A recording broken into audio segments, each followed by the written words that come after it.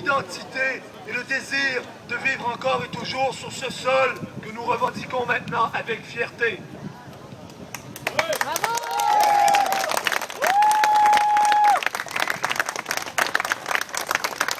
J'invite à me suivre maintenant pour notre dernière halte, ici près de l'Assemblée nationale, au monument de Louis-Joseph Papineau, auquel malheureusement on n'aura pas accès, mais on va quand même s'y rendre.